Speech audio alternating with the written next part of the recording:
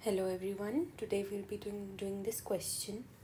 The question is कि express करनी है we have to express this permutation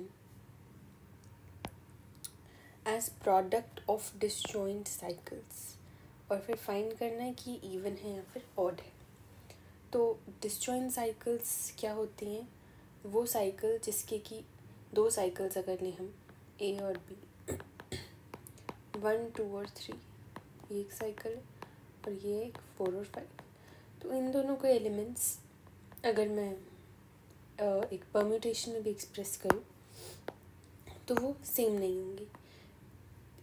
तो ऐसी साइकिल को हम बोलते हैं डिसजॉइंट साइकिल ठीक है? तो बोल रहे हैं कि ये जो गिवन परम्यूटेशन है, इसको हमने प्रोडक्ट ऑफ़ डिसजॉइंट साइकिल बताना okay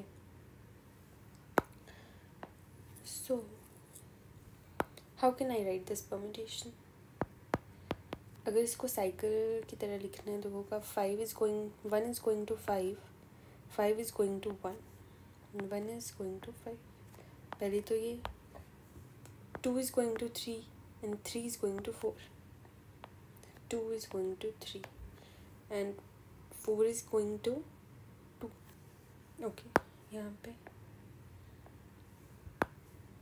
टू थ्री फोर एक ये भी हो सकता है। Now 5 is going to 1 okay, no. 6 is going to 7 and 7 is going to 6 6 7 ठीक है। जब मैं इसको लिखूँगी तो ऐसे ही होगा ना कि one is going to five five is going to one तो साइकिल बन रही है। ऐसे ही साइकिल बन गई। Now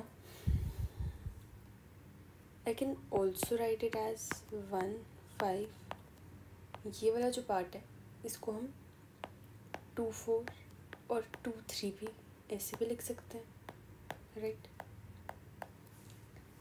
सो टोटल कितनी डिसजॉइंट साइकिल्स हैं, इनमें से कोई भी एलिमेंट जो है, वो सेम इमेज फॉर्म नहीं कर रहा है ना?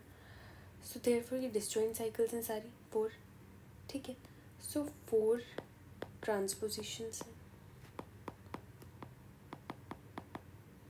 P is the product of four transpositions, ठीक है? देर फोर इवन क्या है ये? इवन परम्यूटेशन है।